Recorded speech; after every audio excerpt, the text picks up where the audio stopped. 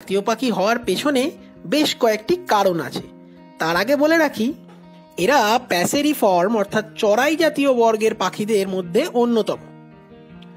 এর বৈজ্ঞানিক নাম কপসাইকাস সলারিস এই পাখির বাংলা নামটির সঙ্গে ফরাসি ওলন্দাজ নামেরও মিল আছে। ফরাসি ভাষায় একে বলা হয় শ্যামা দোয়েল এবং ওলন্দাজ ভাষায় একে বলা হয় দয়ালিড স্টার। এটি বাংলাদেশের জাতীয় পাখি। বাংলাদেশের পল্লী অঞ্চলে সর্বত্রই দোয়েল দেখতে পাওয়া যায়। এছাড়াও বাংলাদেশ ও ভারতের জনবসতির আশেপাশে দেখতে পাওয়া অনেক ছোট পাখিদের মধ্যে দোয়েল অন্যতম। অস্থির এই পাখিরা সর্বদা গাছের ডালে বা মাটিতে লাফিয়ে বেড়ায় খাবারের খোঁজে। গ্রামীণ অঞ্চলে খুব ভোরে বা বিকেলের দিকে এদের কলাকাকলি শোনা যায়।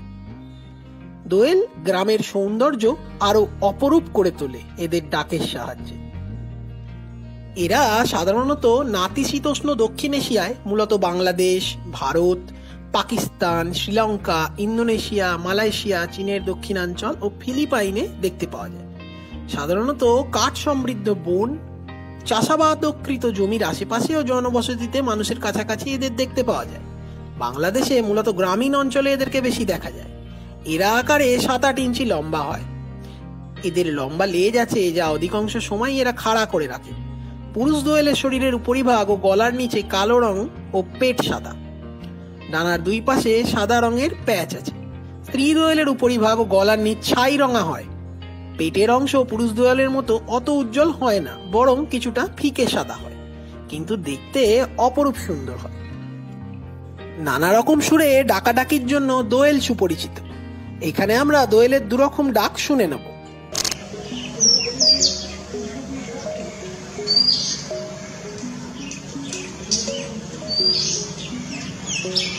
Thank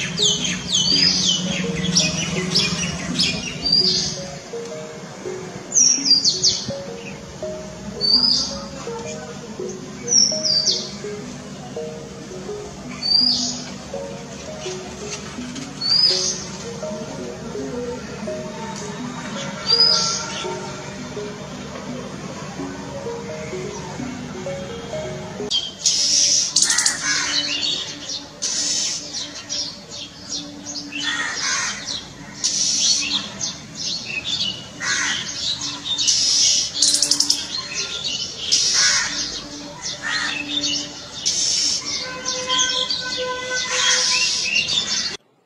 অস্থির এই পাখিরা সর্বদা গাছের ডালে বা মাটিতে লাফিয়ে বেড়ায় খাবারের খোঁজে। কীটপতঙ্গ, ছোট ছোট শুঁয়োপোকা এদের প্রধান খাদ্য। কখনো কখনো সন্ধ্যার আগে আগে এরা খাবারের খোঁজে বের হয়। পুরুষ দোয়েল স্ত্রী দোয়েলকে আকৃষ্ট করার জন্য মিষ্টি সুরে ডাকাডাকি করে। তবে স্ত্রী দোয়েলও পুরুষ দোয়েলের উপস্থিতিতে ডাকতে পারে। এদের প্রজননকাল মার্চ থেকে জুলাই মাস, আর দক্ষিণ পূর্ব এশিয়ায় জানুয়ারি থেকে জুলাই মাস। প্রজনন সময় পুরুষ দোয়েলের শরীরের রং আরও বেশি উজ্জ্বলতর হয়ে যায়। গাছের ডালে বসে স্ত্রী দোয়েলকে আকৃষ্ট করার জন্য হরেক রকম সুরে ডাকাডাকি করে। ডিম দেওয়ার এক সপ্তাহ আগে এরা গাছের কোটরে বা ছাদের কার্নিশে বাসা বানায়। সাধারণত চার পাঁচটি ডিম পাড়ে এরা। এদের ডিমের রং ফিকে নীলচে সবুজ, তার ওপর বাদামি ছোপ থাকে। স্ত্রী দোয়েল ডিমে তা দেয় আট থেকে চোদ্দ দিন পরে ডিম ফুটে বাচ্চা বেরোয়।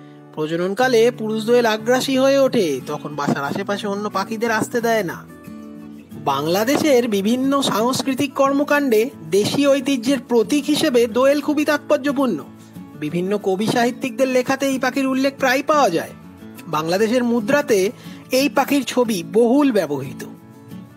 এই পাখির নামে বাংলাদেশের রাজধানী ঢাকাতে দোয়েল চত্বর বলে একটি সড়ক চত্বর আছে, যা ঢাকা বিশ্ববিদ্যালয় এলাকার মাঝে অবস্থিত। এছাড়াও দোয়েল নিয়ে বাংলাদেশের যশোরে প্রচলিত একটি গল্প আছে। এক দেশে কুচকুচে কালো এক দধিয়াল বাস করত। তার মতো সাদা দই আর কেউ বানাতে পারত না। তার দই পেলে মানুষ অন্য কারও দই দেখত না।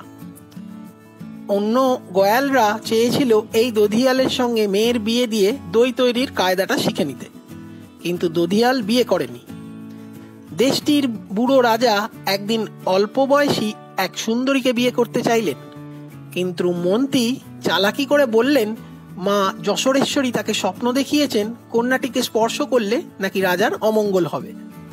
তাই রাজা ওই সুন্দরীকে বিয়ে করে অন্য এক পুরীতে বন্দি করে রাখলেন।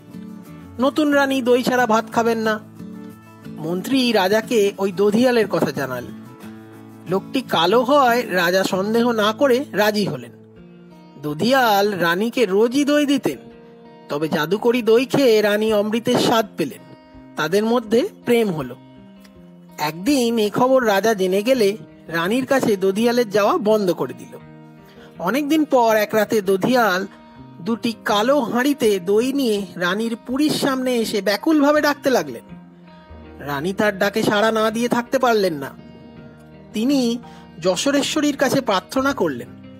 অতঃপর একটি পাখি হয়ে পিক করে ডেকে গাছে গিয়ে বসলেন। দদিয়ালও তখন পাখি হয়ে তার পাশে গিয়ে বসলেন। এরপর দুজনেই উড়ে অন্য রাজ্যে চলে গেলেন। এরাই দোয়েল দধিয়াল বা দোয়েল পাখি। সেই দইয়ের সাদা আর হাঁড়ির কালো রং এখনও দোয়েলের বুকে দেখতে পাওয়া যায়। এই হলো বাংলাদেশের জাতীয় পাখি দোয়েল হওয়ার এক বিশেষ কারণের অন্যতম কারণ।